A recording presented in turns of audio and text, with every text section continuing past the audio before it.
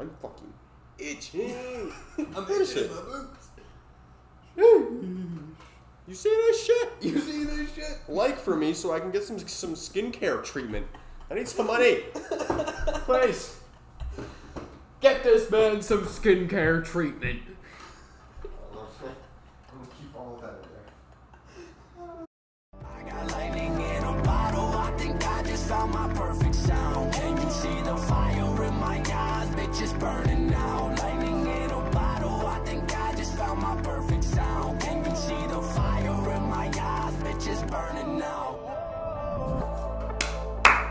Yo, how you living, how you feeling, how you doing? This is First Choice Fantasy.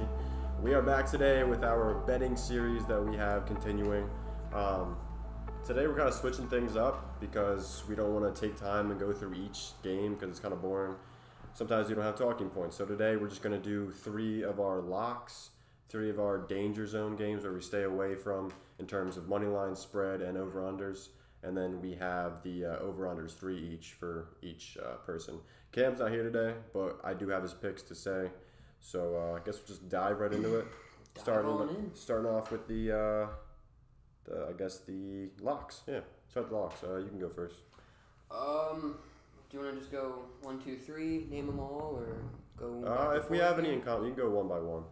Uh, first one I think is my biggest lock of the week is the Titans money line against the Texans, which is currently sitting at minus one eighty six. Um, bit of a shocker last game for the Titans. Well, it was last night, Tuesday Night Football. Lost fifty dollars on that piece of game, but yeah, go ahead. I mean, I took the Bills spread. I thought that game was going to be a little closer than it was. Titans came out and absolutely blew them out of the water. Um, didn't expect that at all. But going into this week's matchup against the Texans, Texans are one and four. Um, I think the Titans are going to come out and blow the Texans out of the water. Derrick Henry's going to shove every single one of that Texans Yeah, defender to the Josh ground. like a child. He's gonna toss them around like some children. Uh, Ryan Tannehill looked real good last night too. yeah. Um, this Titans team could be for real. They only had AJ Brown last night too, and some dude named Nick Westbrook. I don't even know what his other part of his last name was, but it was something uh, I can't pronounce. So it was a uh, yeah, I like that pick. I was thinking about going with the Titans as well for one of my locks, but uh, since you picked them, I guess I'll just not have them this time around. uh, I guess I'll go with Cam's first lock, which is the Washington spread of plus two and a half against the Giants. He doesn't really have much of an explanation, but I don't agree with that. I don't the- particularly agree with that one either. Yeah, Uh, um, I think the Giants get their first win this week. Same. They went toe to toe with the Cowboys. Obviously, that Cowboys team defense struggles, but the Washington football team does not have the weapons the Cowboys do on offense. Exactly. Um, they don't really have a whole lot of weapons at all. Pretty terrible team overall. Pretty terrible football team. Besides, you ask me. besides, yeah, football team. besides the defensive line, I guess their defense is pretty bad. Besides the defensive line, obviously, but the defensive line is solid. But I have the Giants spread as my first lock, so me and Cam's first locks contradict each other. So uh, go with whoever you are most confident in, me or Cam. Um, I don't really have much to say about it. I literally just said the Washington defense pretty bad. Besides defensive line, the Giants finally look like they hit their stride last week. Uh, Devonta Freeman looked pretty decent. Darius Slayton's a stud. We know is. this. We know this. Evan And, Engram uh, showed up finally as well. he did, yeah. They were getting a little creative with that end around fucking Evan Engram, It's weird, but I can dig it. I Whatever can dig works, I guess. Exactly, whatever works. And the uh, Giant spread is going to work this week for me. Just watch it. You can go to your second one. Um, I have the Packers spread against the Buccaneers. It's currently sitting at minus two and a half. Um, Packers offense is just something special this year right now. Really Aaron Jones yeah. is really something special this year. Rodgers is playing some great football. Um, this could be also a real high scoring game. Um, the Buccaneers offense, I think, is going to be a little streaky right now at the start of the year. Tom Brady's, he didn't quite know what down it was at the end of the uh, game four? against the Four? He was a bit lost. Um, dementia could be setting in. It could be setting in just a little bit. That's a bit of a tweak, but um, Packers also are four zero against the spread this year. Um, I think that's going to continue. I can see them winning by a little bit more than a field goal in this game, but um, Buccaneers do have a good offense. I think this or good defense. I think this could be another high scoring game as well. Probably one of the best games this week, in all honesty. Yeah, wa- or viewing purposes. entertaining for sure. I think it comes in a close second against the uh, Kansas City and Buffalo this week because that's a pretty beautiful matchup. That should be a good game as well. All right. Uh, second lock for Cam would be the Pittsburgh Steelers spread of minus three and a half against the um, who are they playing again? Browns. Browns. Yeah, uh, I'm not too fond of this game as a whole because I could see it going either way. Um, I don't really have much words on Cam's lock of Obviously, Pittsburgh I'd like to see the. Steelers taking away this Yeah. one, but I mean, I could really see them losing to the Browns. We usually split them with the Browns. Yeah, And we have, especially coming back from last year's shenanigans with Myles Garrett and all that stuff. This would be also another interesting game to watch, just for temper wise. yeah. Could be some angry players out there on that field. Steelers are at home as well, so that's uh, I guess it's worth a note somewhat. All right, um, my second lock would be the Ravens minus seven and a half against my Philadelphia Eagles. Uh, That's a safe pick. it's I feel like as an Eagles fan, I don't want to say it's a safe pick, but it definitely is a safe pick. I mean, we looked amazing last week against the Steelers uh, at times, even though Claypool let up we let Claypool get four touchdowns. Of all the wide receivers, Claypool. Um, but yeah, so Claypool got four Fulgham touchdowns. Fulgham, yeah, Ful- Fulgham looked like he found stride. I don't know if he's all that great, but I think the. Steelers, yeah, maybe.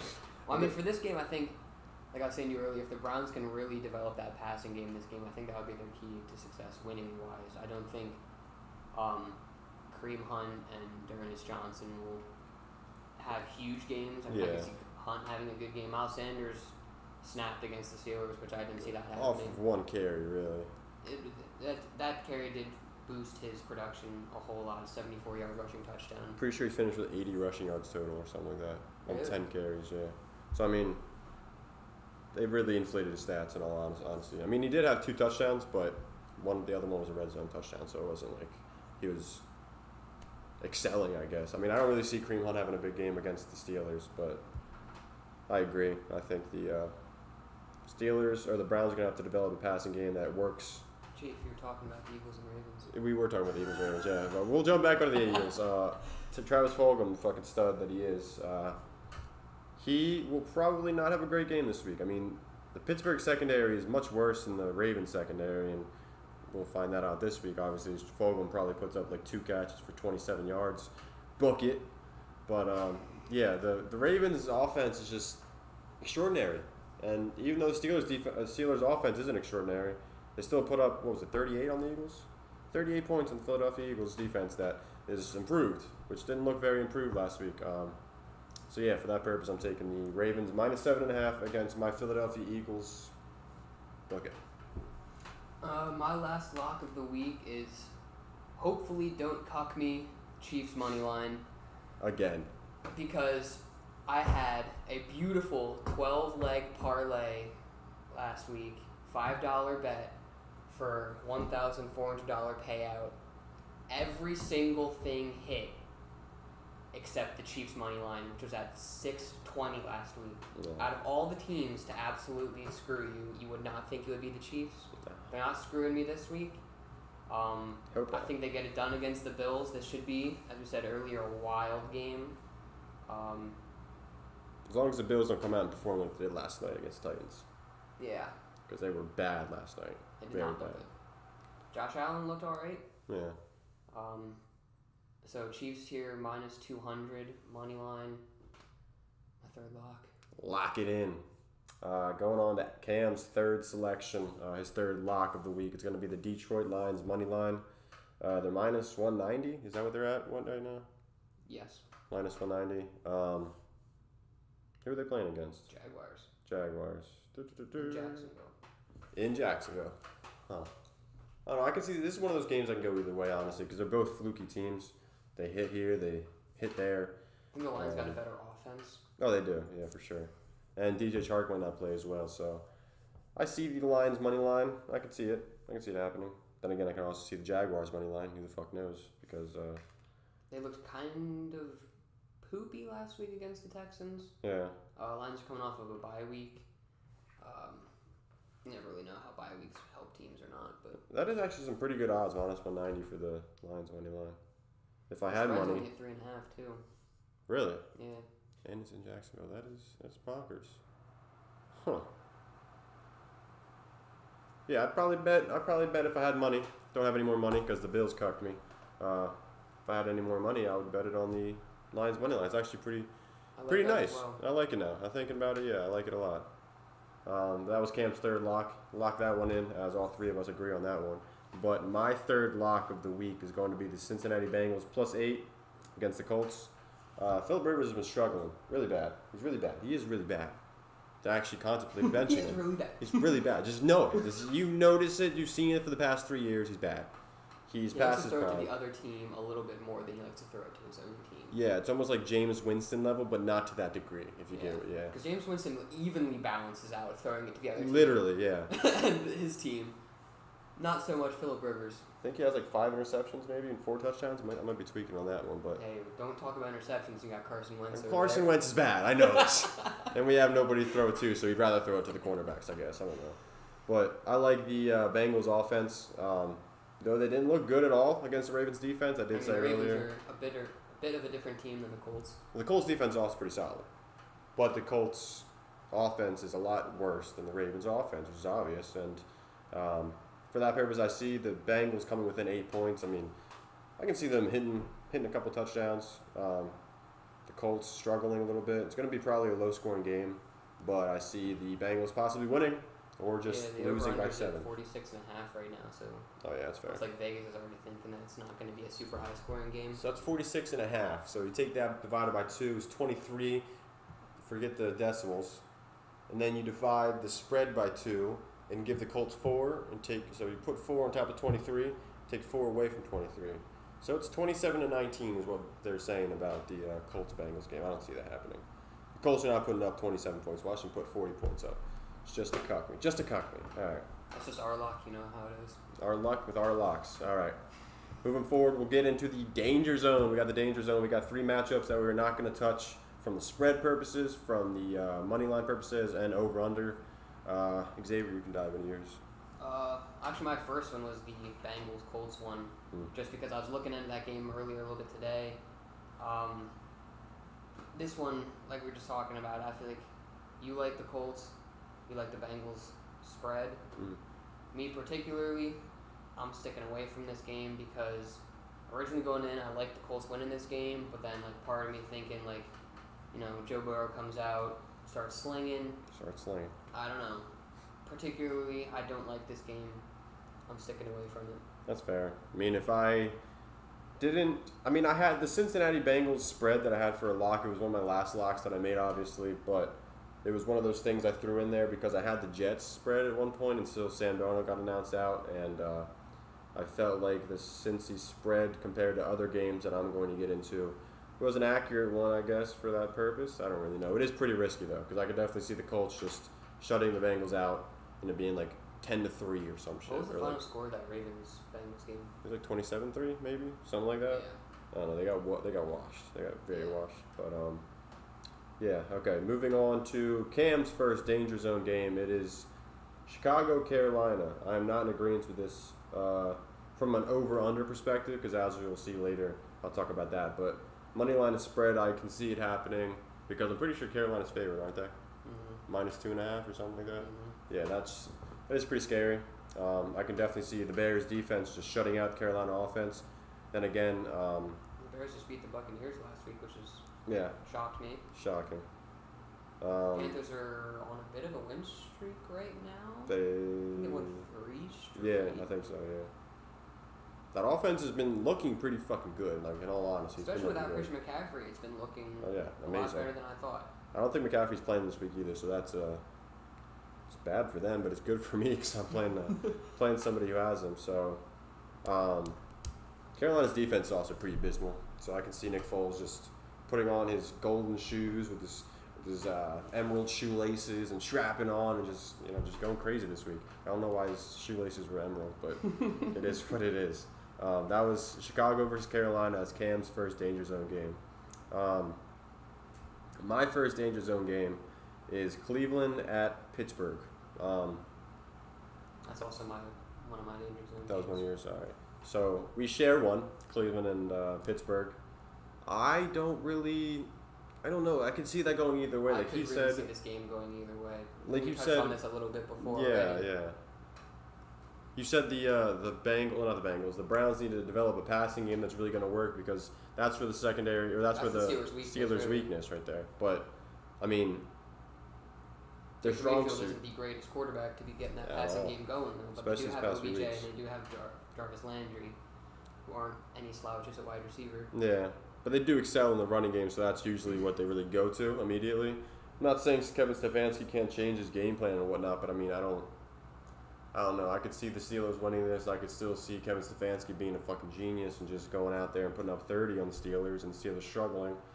But uh, I The can't can also get. I think the key to this game in general is going to be the passing game for both sides. for yeah, For both sides. for sure. If 100%. either one can get the passing game going, because the Browns I think have been pretty decent against the run. Not Yeah, 100 percent yeah. sure, and the Steelers haven't really been that great running the ball. Mhm. Um, but throwing wise, Big Ben's been looking pretty nice. We've got hella weapons at wide receiver. I can see James Washington deep ball. I can just see it happening because Andrew Sendejo Every, is terrible every single one of these weeks, it's going to be a different wide receiver for the Steelers. Oh yeah. 100. percent Last week was Chase Claypool. This week it's going to be probably James Washington. I can see James Johnson. Washington. Or it could be like an Eric Ebron snap. Who knows? Yeah, we don't I'm, know. I'm sticking away from this game too Yeah. because I don't like the vibes. Browns Very could win, risky. Steelers could win. I don't like it. Don't like it. Divisional matchup too, so it's kind of scary. Like you said, they usually split. We don't know which one they're gonna split. Uh, if they're gonna take this one, they're gonna take next one. So I'm sticking away from that game for all purposes. Uh, do you want to go for your third one, or do you want to just? Uh, my third one, I was a little iffy on this one, but I think it's going to be the Broncos Patriots. Um, I don't really know who all has COVID and doesn't have COVID for the Patriots. Like, is Cam Newton going to be playing? He should be. Yeah, He should be like playing. two weeks. Gilmore probably won't be though. But now Melvin Gordon just got arrested last night, so that's going to. Who Yeah. knows if that's going to really impact the Broncos, if he's going to be playing or not going to be playing. Of course, person I play who has McCaffrey also has Phillip Lindsay, and if Melvin Gordon doesn't play and Phillip Lindsay does, I'm just gonna get annoyed. But go ahead. Um, yeah, if, if Cam Newton's playing, I guess this could be a lot more easier pick for the Patriots. Yeah. because he obviously brings a whole lot of different offensive options to the table than Brian Hoyer or Oh. Jarrett Stidham. So, um, I guess there's a lot of questions leading up to this game too, because it got it was supposed to happen this past week, didn't happen. Um, overall, I'm just sticking away from it. If I really wanted to be, uh, mean, the Patriots are ten point favorites going into yeah, this game so already, that that is Husky. so But I can see the Patriots money line hitting. Like if I were to make another lock instead of the Cincy lock, I would have the Patriots money line. But because I don't want to take the easy way out of minus four twenty, I'm just going to not have that, and I will just not have this. This is, I guess you can call it a danger zone because I'm not taking any picks from it. If that's the case, if it's not a money line pick for the Patriots, but yeah, I can dig it. All right, uh, Cam's second danger zone uh, matchup is going to be the Monday night matchup. The Cardinals at the uh, Dallas Cowboys. Um, yeah, I don't. I really don't know how it's going to go. I think actually, yeah, me and Cam share this one. I, I, I, I what the fuck am I tweeting for? I also have the uh, Cardinals and the Cowboys as my danger zone matchup number two. Um, I just it's a Monday night game, so like there's gonna be so much attention on it, and it could be just like this Tuesday night game where you think that the Bills win or you think that the Cowboys win, just because you know their offense has been hitting on all cylinders, and obviously they still won last night, or whatever the fuck they played without Dak Prescott. That's a devastating injury for that Cowboys offense. That was gross too. It was really gross. devastating to watch, devastating for Dak. grossly, yeah. Especially for that offense, he was a key part of that offense. But Andy Dalton stepping in, I don't think is a terrible replacement. It's not, but I mean, they still have hella weapons on that offense, so it's not like he's he's obviously doesn't bring the amount of skill that Dak Prescott does to the table. Exactly, He's not mobile like Dak Prescott is. Um, probably still not he'll be throwing the ball. They still got Zeke, so like they can still Zeke's carries are probably going to go up a little bit more now. You'd think. The offensive line also is uh, pretty banged up too. Frederick Frederick was uh, retired in the Did off they season. lose? Uh, Tyron Smith Tyron season, Smith, yeah. So that's uh, I don't know that Cowboys are team getting more and more questionable as the year's going on from Yeah. week to week. very questionable. So I mean, I could But see the Cardinals are also questionable. Yeah, They're coming off a win last week against the Jets. Yeah, 30-10. which they didn't cuck us. They didn't. I rolled with the Cardinals. I did too in the parlay that the Chiefs cucked me. but, Chiefs, yeah. unbelievable cuck of the year. Unbelievable. Never would have seen that coming. Unbelievable. All right. Uh, yeah, I don't like this matchup one bit. It could go either way. Lord knows what's going to happen. Uh, game number three for the danger zone for Cam is the Bengals and the Colts. That was one of mine as well. It was, yeah, you did, yeah. Um, it was. I don't really have any words on this besides the fact that I had the Cincy spread, so I wouldn't call it a danger zone game. But I probably said something about not liking the game because either or could happen. But I don't know. I don't know if it's that dangerous in my eyes. I guess, but I guess I'll say my third matchup. That is a danger zone matchup, and surprised it didn't come up. It's the Rams and the 49ers. So, what is the spread right now? I think it's three and a half. hmm Three and a half. I'm not liking that one bit. It's three and a half for the Rams, and the Rams are at uh, San Fran. 49ers just, I don't know if they're just missing something right now. I mean, obviously they're they're missing the entire defense, but Mhm. their offense is just looking poop. Like, Garoppolo comes out. They definitely like rushed it back in. I mean, I didn't watch a whole lot of that game Yeah. besides the scoreboard, and it was Yeah, all same. Dolphins. Um, so if Garoppolo maybe comes back a little bit more healthier for this game, it might be a little different. But Maybe. that's also one that I might stick away from as well. So- I kind of like the Rams spread, but Yeah. because I think they will probably win this game, but by how much, I don't know. They should win this game, I think. They're the better team. Yeah. This offense kind of reminds me of, obviously not layout wise, but like with the quarterback just struggle and you don't really know what's happening. Washington, because like Dwayne Haskins some stomach stomach illness. Uh, Jimmy Garoppolo is doing something that is not right. I guess I don't fucking know. It just it's I never weird. thought that he was that great of a quarterback Oh, to same, begin with. same. But it was stability. He It was got big stability. money. The 49ers saw something in him. Made it to the Super Bowl last year with him, so he must be somewhat talented. I just think. Uh, I think their defense helped carry them a lot to that Super Bowl. oh yeah, for year, sure. Which now that defense is on the IR. Yeah, literally the entire defense on the IR. All right. Uh, does that? I think that marks up. Yeah, that marks up the danger zone matchups. Uh, moving forward, we're going to go into the over unders for this week. Uh, three three for each person. X, you can start. My first one is the Bears Panthers. I'm taking the over in that game. It's currently sitting at 44, I agree. which I think is the lowest. I think it just bu- it just bursted up too. I think it went up to forty five, but it's still an over. Still me. one of the lowest. The lowest currently that I saw was the football team Giants is at 43 and a half. So this is one of like the second lowest ones. I think this Yeah. one will be I'm not gonna say high scoring game because 44 as the over is not that much of a high score. Um, I can see like 27, 20, Yeah. 27, 20. It's over 45, Yeah. so I'm at 44, 45, whatever it's at. that's really not that much of a stretch. The the Pan- the Panthers defense is bad. We know this. They've allowed so many touchdowns this year. Um, the Bears defense is good. It's good, but the Panthers offense is also pretty great as well. So I can see the Panthers offense putting up some points.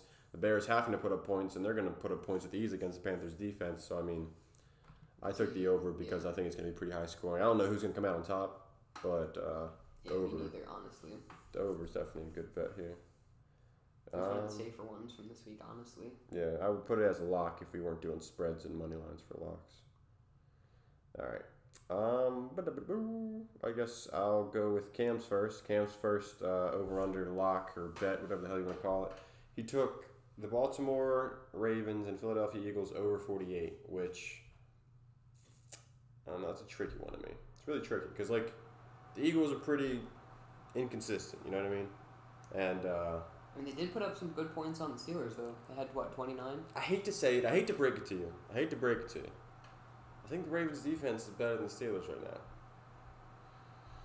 I really do. I mean, the secondary is pretty pretty well put together. The front seven may not be as stout as Pittsburgh's, but I mean, it's still still relatively I'd say stout. overall the Ravens defense is more balanced yeah, than the Steelers defense. and it. I mean, it picks up where the Steelers' defense lacks with the secondary, secondary. which is where the Eagles excelled at. Besides the 74-yard touchdown run, I mean, besides that, they weren't really doing much on the ground. But what they really excelled in was Travis Fulgham just somehow getting open and catching balls. And I don't know if that's going to happen this week. Uh, even if they bring Alshon Jeffery back, I don't know if that over is really going to hit 48. it's risky to me. It's it's one of those danger zone over unders I would probably stay away from. What are your thoughts on it? Um, I don't know. I didn't really look into much of this one. The Ravens, obviously, I think the Ravens will win. But as far as like putting up points wise, I think the Ravens will put up. I don't know. Like, this could be a, the over's at what forty eight. Yeah, That could be like a it's like a 30-10 game in all honesty. thirty to ten game. That wouldn't hit the over though. That- but Yeah, it wouldn't. I don't know. I'm sticking away from the over on that one. yeah, That's all Cam. that's all Cam. Cam, you got the cojones over here. All right, um, game two. It's here. I'm taking the under in the Cardinals Cowboys game. What's that sitting at? 55. 55. I don't, I don't know. I just don't know if there's going to be a ton of points put up on the board Yeah, here. I mean, obviously, the Cowboys have a bunch of off- offensive weapons. The Cardinals have offensive weapons as well. I think D Hop will probably feast. probably like a This 30 point fantasy game. Yeah, something like that. Um, Kenyan Drake, I would like to say maybe start him this week as well, but really with Kenyan Drake, you never really You know. never know. You never know. You never really know. It could be the Chase Edmonds show, or it could just be neither of them showing up to play. Yeah, it's You know- just the show or the not show. Or show. the show or the not show. And um, I'd like to see a little bit more how Andy Dalton operates in this offense. Um, obviously, he's got Amari Cooper, he's got Michael Gallup, CeeDee Lamb, Ezekiel Elliott, so the offensive weapons are there. They're plenty. But I think this one will be a little bit more of like a back and forth slugfest type. Yeah. Not a whole lot of points being put up on the board though. So I'm hitting that under the 55. I can see it happening. I mean, Cardinals offense obviously showed a weakness. What was it, two weeks ago? They Mm, played- Lions, right? Yeah. They They- lost on that game in the field goal. Yeah, yeah. Their offense looked pretty weak against the Lions defense, and though the Cowboys defense is not good by any means, uh, Cardinals have showed their weaknesses, and Cowboys may be able to capitalize on that. Cowboys offense may not be all that hot either. We really don't know. I guess we'll have to see. Very small sample size uh, last week after Dak got hurt, and uh, yeah, I'm not really. If I had to bet, I'd probably bet the under, but now it's kind of wary, scary to me, wary and scary to me. All right. Game two for Cam is the Vikings and the Minnesota. I'm tweaking. The Vikings and the Falcons under of 54 and a half. I also have this, uh, uh, the under of 54 and a half for this game. Um, hmm. Is it the Falcons Vikings one? Yeah, yeah. With Dalvin Cook out, I can see. I mean, I don't know if he's going to be out. I thought he was going to be out. It's looking like he's not going to be playing this week. All right. Uh, that's that's that's even scarier. I mean, the offense is going to revolve around Alexander Mattison, He looked which good against the Seahawks. had he looked good. He looked good, but 112 he's no. Dalvin Cook. He is no what I Dalvin mean? Cook. He's- there's no Dalvin Cook. Dalvin But the Cook's Dalvin Cook. defense also is He is pretty nobody. cool. Yeah, it's literally nobody. Uh, it's like a bunch of paper cutouts playing on defense that Alexander Mattison will probably run through all of them. and their offense, like the the Falcons' offense, hasn't been looking too hot. Obviously, Julio was out last week, which And the Falcons did just finally fire Dan Quinn as well. That's that's true. I was talking with the dude I work with over down at the gym, and he told me like we were talking about the. Uh, he said he likes the fact that when coaches get fired, the team actually have a fire lit under their ass, kind of thing. You know what I mean?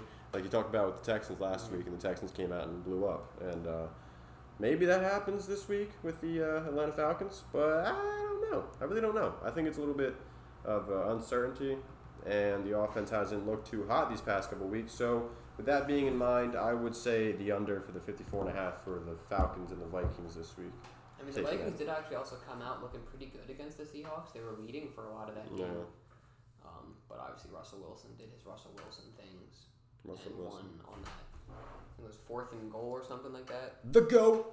The goat, The GOAT! winning MVP this year, hundred percent. 100%. I hope so. I really hope so. All right. Um, final game. Third game over under. Um, this one might be a little risky, but I'm taking the under on the Chiefs Bills game at 57 and a half. Oh, yeah. That's valid. It could be That's risky because they do have some high powered offenses, Yeah. but their defenses are also high powered. It didn't look this- The Bills yes, last night they did not, but they yeah. had, I think Tre'Davious White was not playing last night. Oh, I seen he was questionable. I didn't know he didn't play. I thought I thought I saw on the sleeper app that uh, the list of the Bills inactives. I think he was one of their inactives. That's fair.